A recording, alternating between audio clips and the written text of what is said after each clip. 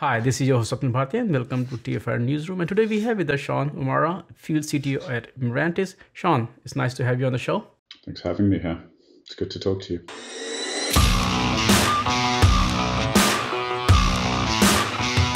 Yeah, so tell me, what are you announcing? It's Mirantis OpenStack for Kubernetes or Mocha, or however you call it. So tell me, what is it? We've had some fun and games internally. We're calling up MOS or Mirantis OpenStack for Kubernetes. Um, we're going to go back to the old MOS acronym. Um, and it's our new way of looking at OpenStack for the future. I mean, if you look at Mirantis, the company evolved as a pure OpenStack company uh, in the, in those early days, uh, and now you guys are also strong in Kubernetes. So, first of all, tell me what is the need of this at this point? So, the reason we've gone down this road is, you know, is we've we've entered into this Kubernetes journey and this container journey for the future. Um, and we're seeing a lot of customers require OpenStack. Um, they need virtual machines alongside their um, container environments. So Mirantis has a strong customer base who are focused on on OpenStack. Um, and as part of our future, we've decided to put OpenStack on top of Kubernetes so that we can leverage Kubernetes and leverage the power of Kubernetes to handle that infrastructure layer. Right. I, I will talk about you know what market you're trying to address with this, but before that, I also want to understand what are the core component of MOSC or MOSC. So MOS, uh, its core components are our Mirantis Container Cloud product, which handles the deployment and management of our Kubernetes clusters in the multi-cloud environment. So it, it is the basis that we've built the entire product on top of. Um, MCC, Mirantis Container Cloud, builds and deploys the Kubernetes clusters. We then deliver OpenStack on top of that um, as a set of Kubernetes services. So we've containerized all of the OpenStack services, um, all of the agents, all of the networking components, and we deliver them as Kubernetes application, cloud native application on top of these Kubernetes clusters. Sorry, along, along with that, we're also delivering our Ceph storage management products and our visibility toolset, which is Stacklight. So are we kind of looking at, you know, fully managed OpenStack with Kubernetes kind of solution? Absolutely. So we're bringing both of them to the party at the same time. Through the Mirantis Container Cloud, we have this fully managed, fully lifecycle managed Kubernetes cluster, which handles that underlying layer.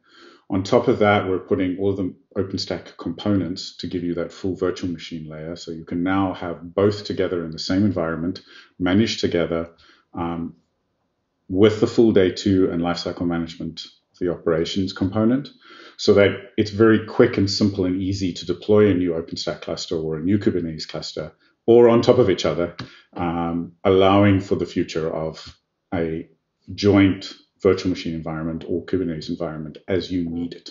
What are the use cases uh, you're targeting with this one? Because first of all, uh, everybody wants to run Kubernetes everywhere, even in the toasters. Someday we'll have jokes about like Linux running. Well, that's a good use case, yeah. so out of the box, the initial use case is the traditional enterprise IT environment that today is focused heavily on, say, the VMware market, where I have a large legacy set of applications, or I have applications that are just not suited at this stage for going into containers. As we move forward, we'll be focusing heavily on telco workloads. You know, the telco market and the edge market are, are very big workload, and they have a number of deep technical requirements that Kubernetes is not yet ready to service, although it will be coming in the future. So we're hoping to bridge that gap as well. It's also a great use case for customers that have a lot of traditional internal infrastructure, but want to be able to slice that up um, and do software defined data center work utilizing um, OpenStack allowing you to better define and manage your data centers, better utilize those infrastructure resources that you have. And if when you mentioned telcos, Mirantis already have very good story, uh, OpenStack story with, with, telcos, you know, because telcos, they are building a stack on top of OpenStack and all those open source technologies. Then 5G is also coming in. Uh, so uh, is this the kind of, you know, evolution of the same market? Uh, we're you know it is an evolution of the same market. Um, we believe there's also a lot of new market in the 5G and edge space. Um, 5G and edge is no longer just a telco um, use case. We're starting to see that coming in uh, manufacturing, uh, financial services. Um, a lot of private 5G networking um, and small business 5G networking, where they're leveraging the power and the networking capabilities of 5G to deliver IoT type services.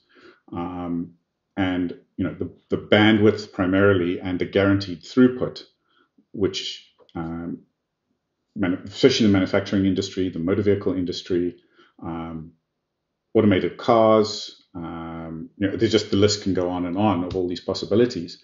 Um, we believe we have a specific niche that we can fit in there, which is providing for that infrastructure on the edge um, and that infrastructure in the data center, managing that and making it easy and simple to access. And I think earlier this year, uh, the government also released some of uh, 5G, you know, spectrum as well. They they're kind of democratizing 5G and also it making it not only accessible but also affordable. So that will also uh, uh, play a big Com- role here. and also access to 5G is really going to make it be a big game changer, um, especially for access in where traditional access methodologies just don't don't work very well. So, right, right. Looking forward to that. Uh, mm-hmm. Uh, I know you may or may not be able to name some customers, but can you tell you know who is either already leveraging it or you are looking at them uh, leveraging MOSK?